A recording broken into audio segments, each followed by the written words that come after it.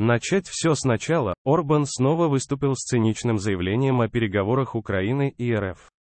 Премьер-министр Венгрии Виктор Орбан в очередной раз отметился циничным заявлением и призвал к переговорам об окончании захватнической войны России против Украины, об этом сообщает РБК Украина со ссылкой на заявление премьер-министра Венгрии Виктора Орбана, которого цитирует Магяр Хирлап, «Всегда есть смысл говорить о мире, когда идет война».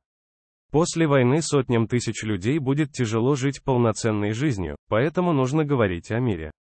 Если голос мира будет недостаточно сильным, в общественном сознании будет оставаться, что война является решением.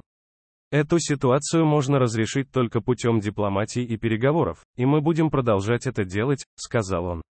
Орбан повторил свои позорные заявления о том, что Украина якобы давно потеряла свой суверенитет и то, что у наших военных якобы закончились силы для ведения войны. Премьер Венгрии считает, что после начала полномасштабного вторжения РФ Запад должен локализовать войну. Ангела Меркель локализовала украинско-российский конфликт в 2014 году. Ред. Это нужно было сделать сейчас. Это то, что мы представляли. Сейчас Запад этого не делает. Деньги присылает, оружие, воевать, конечно, украинцы воюют. Запад будет бороться до последнего украинского солдата, добавил он. Орбан также отметил, что война оказывает влияние на мировую экономику. Всю Европу отрезали от российского газа, и это распространяется, идет какая-то изоляция, гетоизация. Мы неправильно справились с этим явлением с первого момента. Вы должны вернуться в начало и начать все сначала, вы должны вернуться за стол переговоров, заявил он.